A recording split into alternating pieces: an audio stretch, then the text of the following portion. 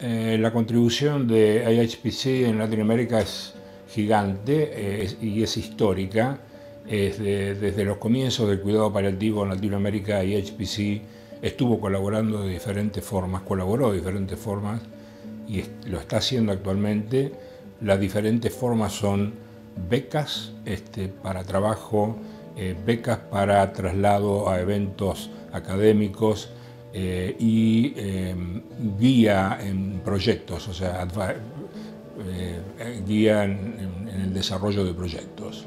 Em, ha sido un catalizador, es un catalizador del cuidado paliativo en Latinoamérica. Em, y esto ocurre desde, los, desde el principio. Yo me acuerdo en los años, cerca del 1990, ya comenzó este, la ayuda de, eh, de esta institución para Latinoamérica.